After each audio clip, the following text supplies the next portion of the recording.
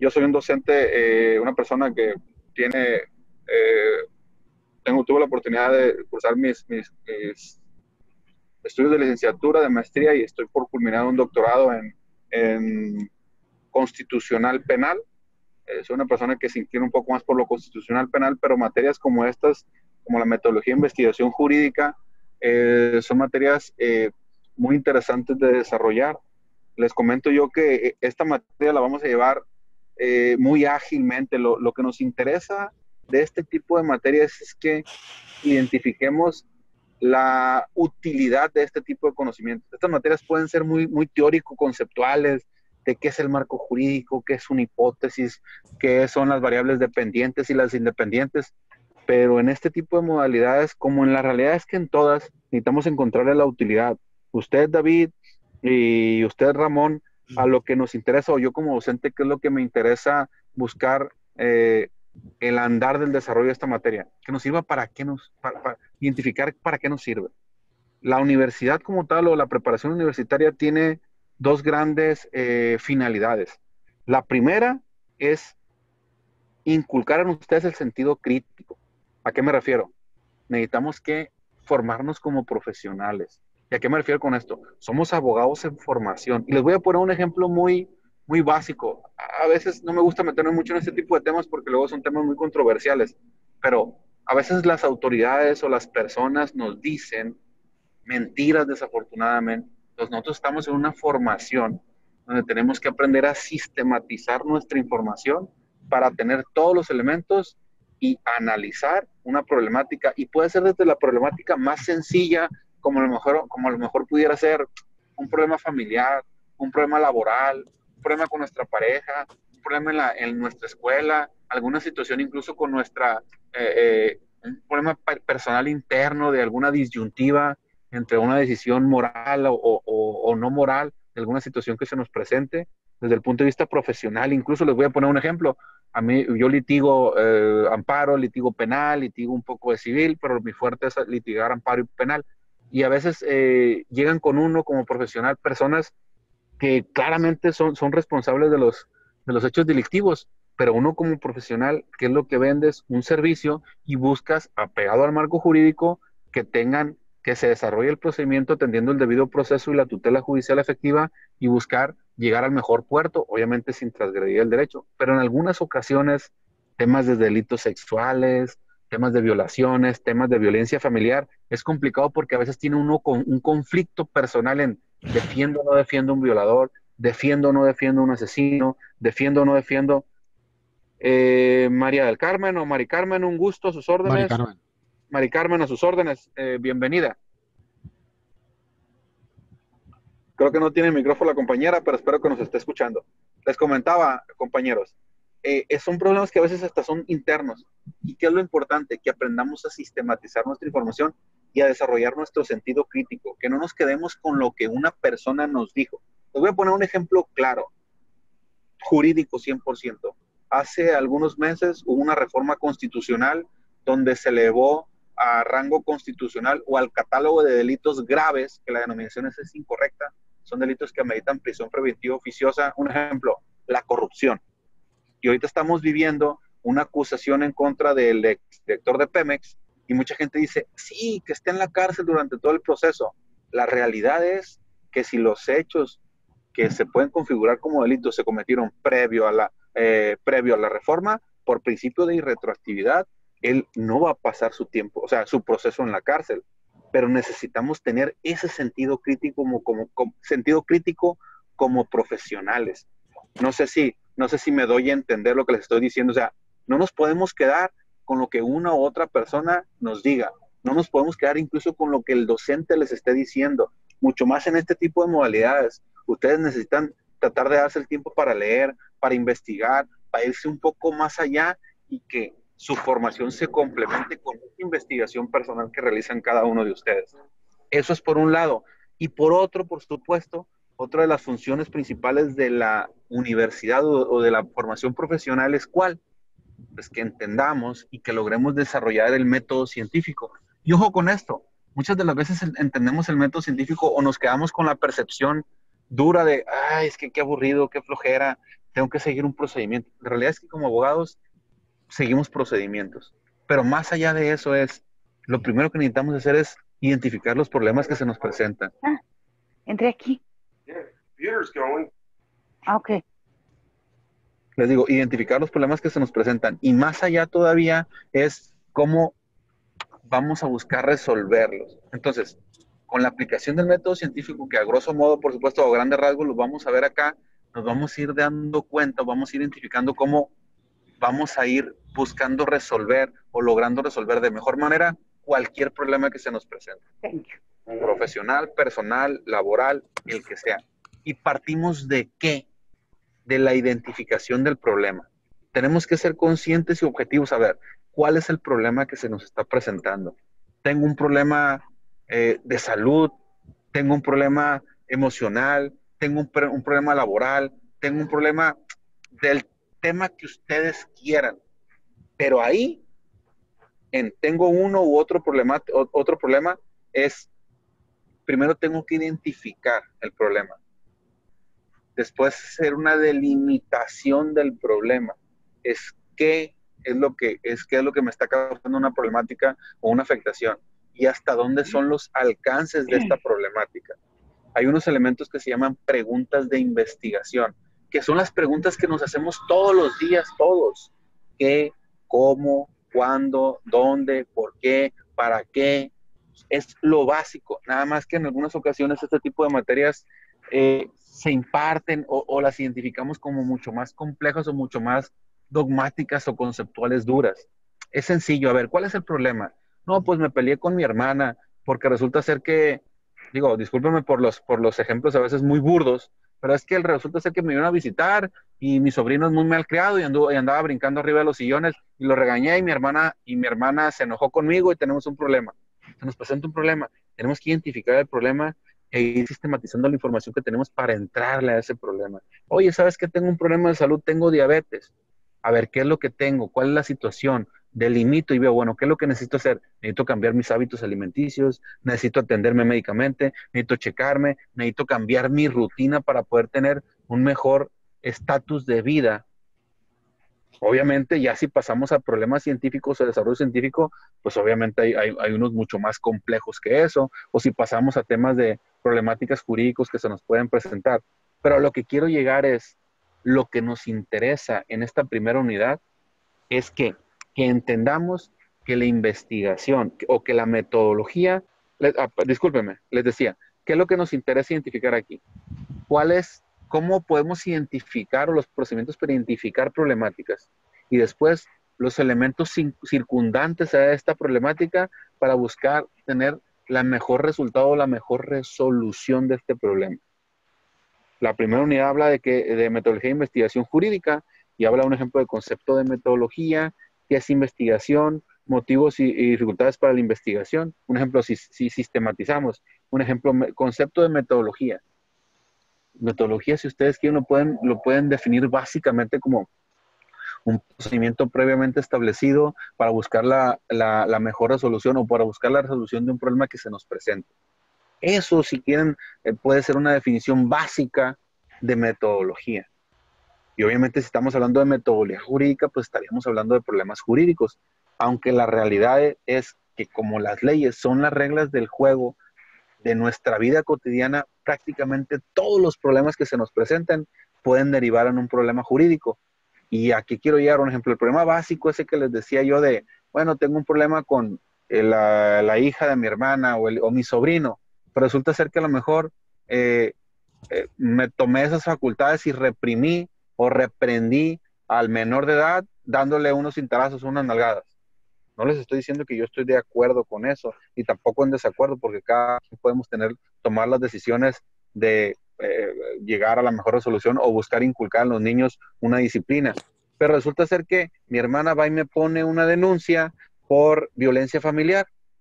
Entonces, ahí ya estamos hablando de una problemática simple que se convierte en una problemática jurídica nos vamos al tema del, diabetes. Resulta ser que yo no me cuido, se me presenta una situación, fallezco y yo no dejé un testamento, yo no dejé determinados mis herederos, yo no dejé nada, pues se convierte en un problema jurídico. ¿A qué quiero llegar? se nos critica mucho los abogados porque a veces somos eh, muy cuadrados o somos, o, somos muy fríos desde el punto de vista de la problemática. Es al revés. Nuestra profesión es en saber, entenderla y entender las reglas del juego y afrontar los problemas que la demás gente no quiere afrontar. Eso al final de cuentas en gran medida es nuestro trabajo. Y aunque lo veamos desde el punto de vista de una empresa o de litigio, donde ustedes lo quieran ver, al final de cuentas eso es nuestro trabajo. Entonces, necesitamos sistematizar información. ¿Y cómo lo vamos a sistematizar? A través de un método, a través de un procedimiento, de decir, a ver, necesitamos concurrir en estos pasos básicos para poder llegar a la mejor resolución del problema. Les digo, el primer paso que, tenemos que ver cuál es, pues la identificación de un problema. A ver, ¿cuál es el problema? Oye, ¿sabes qué? Es que resulta ser que eh, los derechos fundamentales que están plasmados en, los, en el del artículo 16, bueno, en todos los, en los primeros 29 artículos de nuestra Constitución, particularmente los temas procesales, no se, están, no se están respetando, hablando del artículo 16 al 20 constitucional, por ponerles un ejemplo ya mucho más duro, mucho más duro jurídico, si ustedes quieren. Pero ¿qué es lo que pasa? Bueno, lo que pasa es que necesitamos identificar, necesitamos hacer una valoración real de se cumplen o no se cumplen estos principios. ¿Sí? Por decir algo. Entonces vamos haciendo una delimitación realmente del tema. Vamos, vamos identificando el problema y lo vamos delimitando. Les digo, desde el punto de vista de la investigación jurídica, pues ¿qué es lo que, qué es lo que vamos a investigar? Pues vamos a, vamos a investigar hechos y actos jurídicos que necesiten o que, se, o que, o que están que se en una problemática y que nosotros busquemos darle una resolución. voy a poner un ejemplo. Se les acerca una persona y les dice, oye, ¿sabes qué? Lo que pasa es que me quiero divorciar. ¿Ese es un problema? Si ustedes quieren verlo así, el que se quieran divorciar es un problema. Ya está la identificación del problema ahí.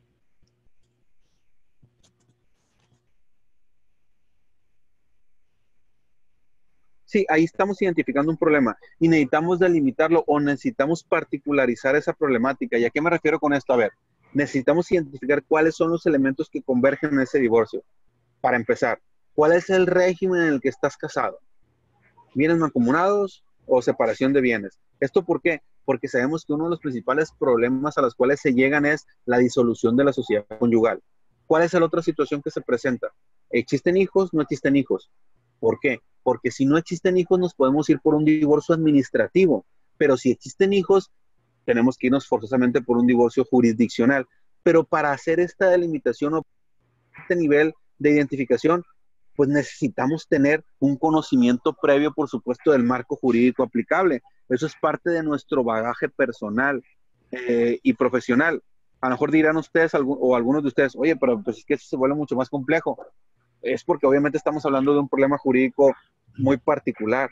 Pero te digo, si nos regresamos a los problemas genéricos, a final de cuentas identificamos una problemática, delimitamos ese problema y vamos acercándonos o, nos vamos interiorizando o identificando los elementos que nos van a ayudar a que a dar una, la mejor resolución o para dar la mejor recomendación a nuestro cliente. Ahora, desde el punto de vista de, de metodología dura, vamos a identificar que o vamos, tenemos que identificar que hay problemas eh, no, tan, eh, no tan puntuales o no tan apegados a la realidad. A veces se investigan algunos problemas o se, investigan algunos elementos que en realidad es que son ahí sí más dogmáticos. Por eso a veces, si nosotros nos metemos a algunos libros o al internet y empezamos a buscar artículos científicos, de problemáticas, hay cosas que dices, oye, pues, ¿para qué están investigando esto? O no le encontramos en la razón de ser la de investigación de algunos problemas. En esta materia lo que nos interesa es que identificar problemas reales, desde los básicos personales hasta, hasta no sé si hasta ese punto, hacia este momento, ustedes tengan una duda de en qué va a versar la materia, de en qué, en qué va a consistir. Que identificamos el, identificamos un procedimiento a seguir para buscar la mejor solución de un problema. De eso se trata. ¿Tienen alguna opinión hasta, este momento, jóvenes? Está, entendible, maestro. Muy claro, profe. la intención de esto es apegarlo lo más a la realidad posible. Esa es la intención. ¿Por qué? Porque si no, nos vamos a perder en, los conceptos y no, no, no nos va a dar el tiempo tampoco para llegar a un punto. Si ustedes ven la, si ustedes han tenido la oportunidad y si no, les pido de favor que, que, se metan al material que incluye la, la, materia, pues particularmente la primera unidad que ya está corriendo en esta semana. La materia la manejamos cuatro unidades y el proyecto de investigación científica. ¿Por qué? Porque nos piden que ustedes al final presenten un trabajo de investigación estructurado a través del método científico. Y como les digo, que no nos asuste el concepto del método científico. Aquí lo vamos a ir desglosando punto por punto y lo vamos a ir ejemplificando y conceptualizando. Y tengan la plena confianza para a través de la plataforma o directamente a través del grupo de WhatsApp que ya estoy incluido con ustedes, puedan tener, pueden hacerme algún comentario, alguna pregunta con respecto a la delimitación del problema, con respecto a cómo, la, cómo el planteamiento de una hipótesis. Aquí si gustan que les ayude a revisar una hipótesis o un objetivo general o un objetivo específico, que son conceptos que vamos a ir desarrollando. ¿A qué me refiero? Ténganme la confianza para hacerme esos cuestionamientos. Si en un momento determinado no les contesto en un momento es porque, por supuesto, como todos ustedes, también tengo otras ocupaciones, pero me daré el tiempo para contestar puntualmente y tratar de dar la mejor explicación posible con elementos desde los más básicos hasta los más complejos para que podamos desarrollar el contenido temático de la unidad.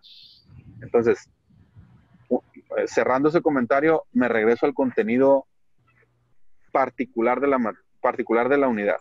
La unidad nos habla que debemos de analizar el concepto de metodología de la investigación. Ya les comentaba ahorita.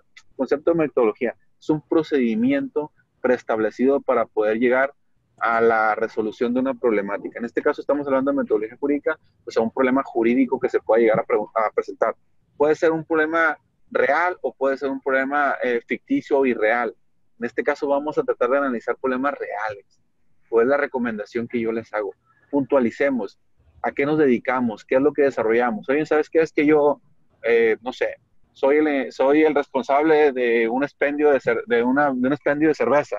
Si quieren un ejemplo básico a ver, pero ¿qué es lo que sucede? No, pues tengo un problema laboral con uno de los empleados porque tengo muchos problemas con él, o creo que me está robando, o sabes que tengo problemas porque hay unos inspectores de alcoholes que agarraron recurrentemente venir y querer extorsionarme. Bueno, necesito identificar el problema y entender que necesitamos hacernos de la información o de la mayor cantidad de información que sea útil para nosotros para buscar darle la mejor solución a ese problema.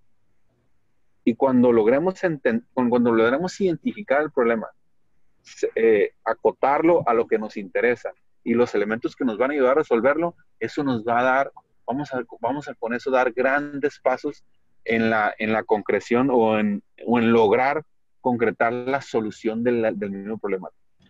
Otro de los conceptos que maneja la primera unidad, me pueden interrumpir cuando ustedes quieran, no, no, no, yo no tengo ningún problema con que me digan, oiga maestro, yo no entendí esto, nos regresamos, lo puntualizamos y buscamos que se entienda de la mejor manera. Yo no tengo ningún problema en que me hagan alguna interrupción o, hagan alguna puntualización, ¿no?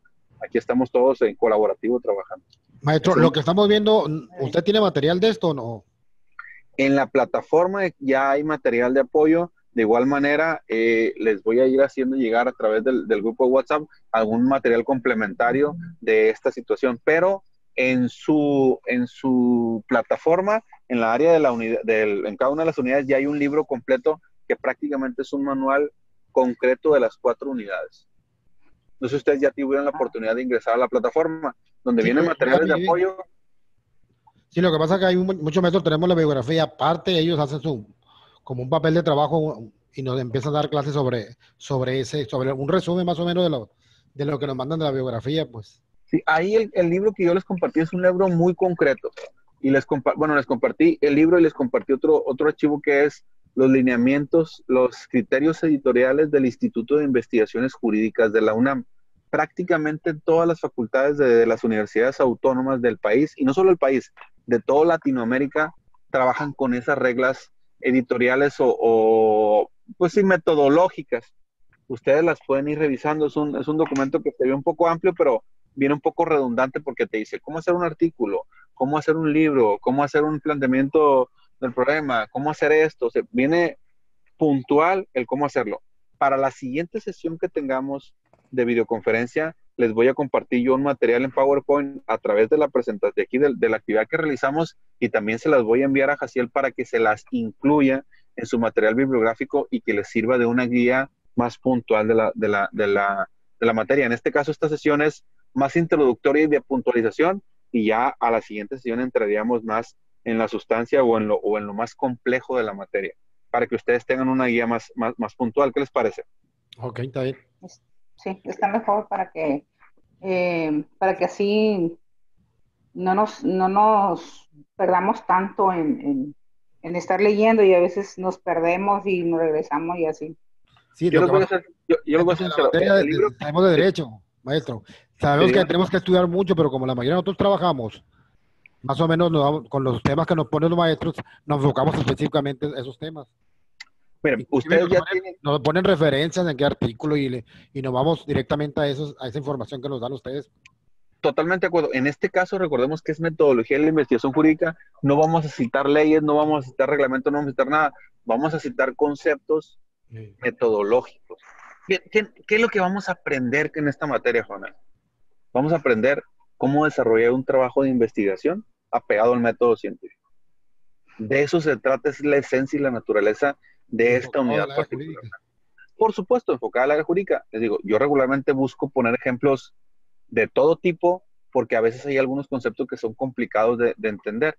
Y si lo logramos vincular con la realidad personal o social de cada uno de nosotros, es mucho más fácil luego hacer la conexión con un problema jurídico específico. Un ejemplo, si yo les digo, por ejemplo, cuando hablemos de las variables dependientes o independientes. Es más fácil que yo les diga, Aira, o que alguno de ustedes, un ejemplo, David, que me diga, Aira, maestro, a mí se me presenta o se me ha presentado este problema en mi trabajo. Y ahí yo le puedo decir, hay estas variables o estas situaciones que se presentan y que convergen en tu problema. Y de estas variables, estas son dependientes y estas son independientes. Y son dependientes de estas y estas son independientes por esto. Y eso lo vinculamos a las problemáticas jurídicas que a final de cuentas es una sola metodología, solo que obviamente esta materia es enfocada como metodología jurídica. No sé si más o menos me explico. Sí, sí. sí pues, es mucho más fácil entenderlo con nuestros problemas cotidianos. Pues igual, si ustedes me plantean un problema jurídico, sobre ese problema trabajamos. Incluso al final, cuando ustedes desarrollen su, su, su ensayo final o su trabajo final de, de, investigación metodológica, la intención es que lo trabajen sobre algún problema que se les haya presentado o que se les esté presentando o que tengan conocimiento de que alguien cercano se les haya presentado. ¿Para qué? Para que se les facilite el desarrollo del mismo. Es más sencillo. Hoy, ¿sabes qué? Pues me divorcié. Ah, pues es un problema jurídico, se te presentó. ¿Cuál es el problema? Esto. ¿Cuáles fueron los elementos que convergieron en el problema? Este, este, este. Y vamos a ir desarrollando esa problemática. Hoy, ¿sabes qué? Me asaltaron. Hoy, ¿sabes qué? Puse una denuncia porque me robaron mi carro. Hoy, ¿sabes qué? Eh, no sé, tuve una, denuncia por tal o cual situación. Oye, ¿sabes qué? Eh, por ejemplo, me tocó en el grupo anterior algunas personas que habían eh, purgado una sentencia eh, y estaban reeditados. Entonces, ellos tuvieron una situación, se les presentó una situación, fueron juzgados, fueron sentenciados, cumplieron con su sentencia y están fuera buscando salir adelante. Mm, se vale, todos somos seres humanos, todos podemos cometer errores y todos nos podemos estar en ciertas situaciones o a veces desafortunadamente podemos haber sido coaccionados por acciones, por actos de la autoridad, nos pudieron haber inculpado, porque eso también sucede, hay que ser realistas, porque esa es otra situación que también pasa. Pues. Entonces, ahorita veo que ya se incorporó otra persona, Leonides, no sé cuál es el nombre realmente de esta persona, porque trae un, un, alias, no sé si ustedes saben cómo se llama, nada más para saludar a esta persona. No, profe. Es que el, el alias dice Leonides. Mm. Yo no. tengo idea, profe. No sé, bueno. David. ¿Dónde? Perdón. Ha estado con nosotros en algunas, algunas materias. Bueno, está bien, entre más nos incorporemos mejor. Entonces, avanzamos. ¿Qué, necesitamos, qué, necesitamos identificar? ¿Qué es metodología? Ya les decía, es un procedimiento. En que nos va a servir para qué? Para buscar solucionar una problemática. La mejor solución. ¿Perdón? La mejor solución. La realidad es que buscar dar una solución, en ya que sea la mejor, o la peor, por supuesto vamos a buscar que sea la mejor solución, pues en beneficio de nosotros y de buscar solucionar nuestra problemática. Y si estamos defendiendo a una persona, pues que tenga la mejor, eh, el mejor resultante o, llegar al mejor puerto para buscar dar una solución a esta problemática. De ahí que nos marca el, propio contenido de la unidad, ¿qué es investigación? ¿Qué es la investigación? Pues la, la investigación es las acciones que uno realiza para qué? Para obtener la mayor cantidad de información posible, sistematizar esa información y buscar la mejor solución al problema que se nos está presentando. ¿A qué me refiero? Otra vez, ejemplo básico, ejemplo jurídico. Una situación, yo les decía, un maltrato eh, a un familiar, alguna situación que se nos presente, alguna problemática, incluso imagínense con nuestros hijos. Les decía, la investigación, ¿qué es la investigación? La investigación es la actividad que nosotros realizamos para buscar recabar mayor cantidad de información posible. Hay que entender que mucha de la información que obtenemos al momento de investigar puede o no puede ser eh, viable o efectiva para utilizar en nuestra investigación o en nuestro método, perdón, o en nuestro procedimiento de investigación. ¿A qué me refiero? Podemos hacernos de mucha información que a final de cuentas no nos sirva, pero también tenemos que desarrollar la capacidad de segmentar esa información. Ahorita que estamos en la época, en la, era, en la era de la información, realmente yo lo comento y algunos, algunas otras personas lo comentan también, estamos en la época de la desinformación. Porque agarramos el internet, o, nos metemos a San Google, nos metemos al internet, agarramos el teléfono y tenemos acceso a tanta información, pero necesitamos identificar que sea información fiable.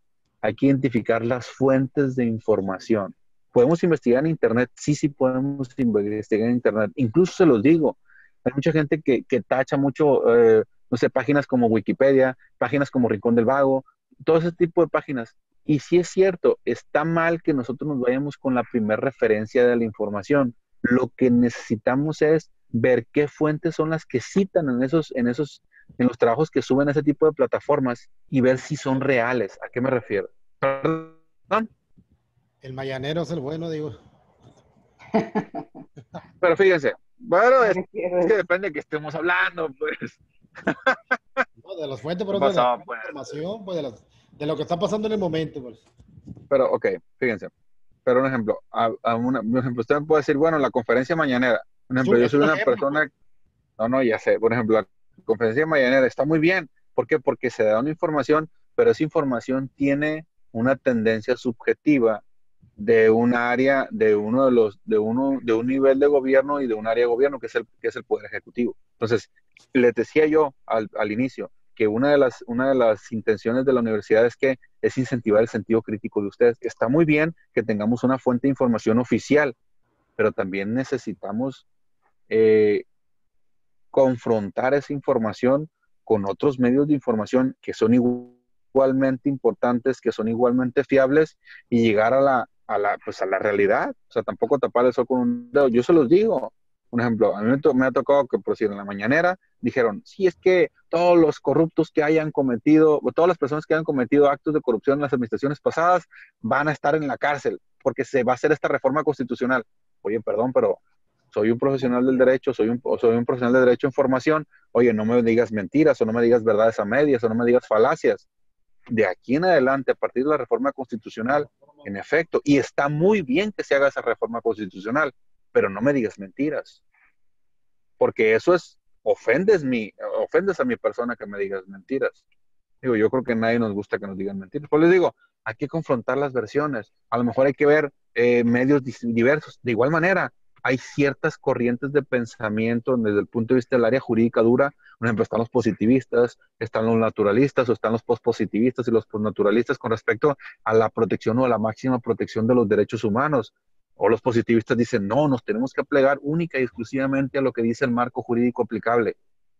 ¿Sí me explico? O sea, necesitamos confrontar, necesitamos identificar, necesitamos afrontar las problemáticas según una tendencia. Por supuesto, cada quien de nosotros vamos a tener una tendencia subjetiva en el análisis de la información, pero necesitamos hacernos llegar de la mayor información posible para poder tener la mejor opinión fundada y motivada. Aguas con esto. Cuando estemos en el tema del litigio ante una autoridad, ¿qué es lo que nos va a hacer altamente efectivos como abogados litigantes? Que se, que, que seamos concretos en la fundamentación, en fundar y motivar nuestros argumentos, o sea, nuestras, nuestras, nuestros dichos. Tienen que ser argumentados, tienen que estar previamente argumentados. ¿Y cómo logramos argumentarlos? Pues haciéndonos información. Porque, un ejemplo, ahorita tenemos un marco jurídico aplicable muy extenso. Desde la reforma del 2011 del primero constitucional, donde sube a rango de ley el tema de los tratados internacionales y donde acepta los principios, eh, particularmente el de, el de máxima protección y el de y el, y el principio eh, de máxima protección y el, y principio de que siempre va a ir evolucionando la protección de los derechos humanos. Ahorita discúlpeme si se me va el concepto particular. ¿Qué es lo que pasa? Pues, un ejemplo, tenemos que aplicar las leyes estatales, la constitución estatal, las leyes federales, las leyes generales, la constitución general de la República, de, nuestro país. Necesitamos aplicar, tenemos la obligación de aplicar qué? La jurisprudencia local, o sea, la jurisprudencia de nuestro máximo tribunal, que es la Suprema Corte de Justicia. Pero también tenemos la obligación de aplicar los tratados internacionales y también tenemos la obligación de aplicar la jurisprudencia de la Corte Interamericana de Derechos Humanos. Pues imagínense la cantidad de marco jurídico aplicable obligatorio que tenemos que conocer para buscar el mejor puerto o el mejor resultado de las problemáticas que se nos presentan. Por eso es importante que tengamos acceso a fuentes de información fidedignas, que tengamos acceso y la mejor interpretación de esa información pues, siempre por supuesto en beneficio del caso particular que estamos analizando y la vertiente de la cual estamos analizando. A lo mejor si yo soy representante de la víctima o del ofendido o del actor o del demandado, pues vamos a ver cuál es la tendencia, cuál es la vertiente que voy a tomar.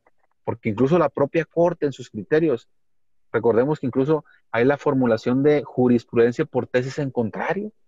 Muchas ocasiones la propia Corte tiene un, tiene un criterio y después se presenta una situación particular y tiene un criterio contrario y ese criterio desestima el anterior y crea nueva jurisprudencia. ¿A qué quiero llegar? Que no se nos olvide que somos una ciencia social y al ser una ciencia social somos una ciencia que siempre estamos en constante evolución. ¿A qué me refiero con esto? Siempre va a cambiar la sociedad y, entre, y los cambios de la sociedad son los que tienen que motivar al derecho a evolucionar.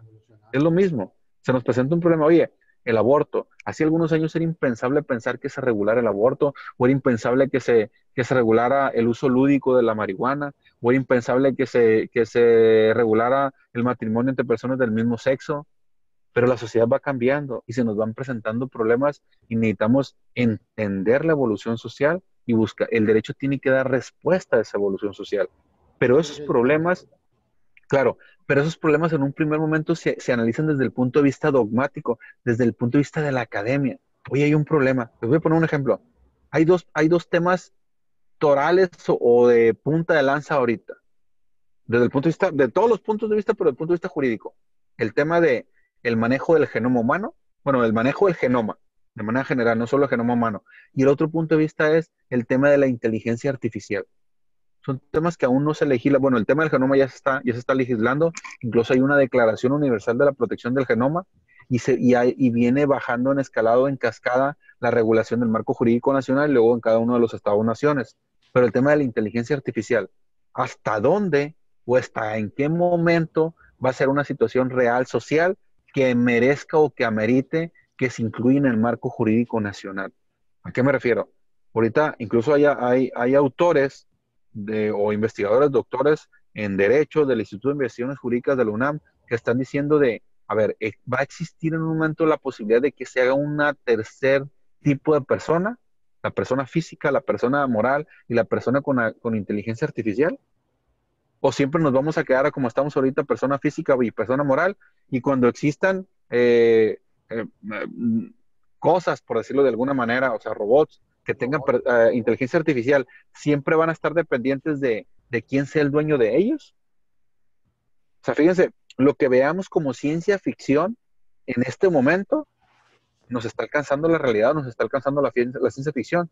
Incluso, yo creo que la mayoría de los que estamos acá podemos recordar de hace 15 años o 20 años ¿Cuándo hubiéramos pensado que, que, pudiéramos estar conectados como estamos conectados y compartiendo y desarrollando unidad, una unidad de aprendizaje como lo estamos haciendo desde nuestras casas, desde nuestros trabajos, desde incluso podíamos estar conectados de cualquier parte del mundo, pero la realidad cambia.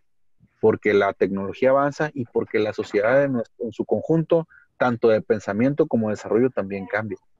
Entonces, somos necesitamos regular esas acciones.